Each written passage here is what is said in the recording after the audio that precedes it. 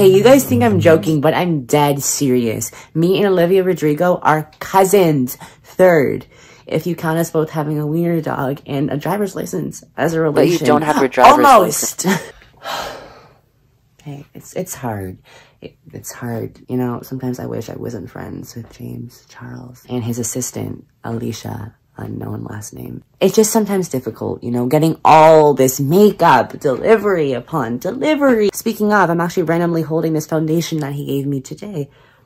Um, mm, boy, mean, like, it's, it's so much. Like, what if I just want the poor people makeup that you buy at Dollarama that gives you an infection you need a needle for? It. Like, not that I know anything about that. I can still see color.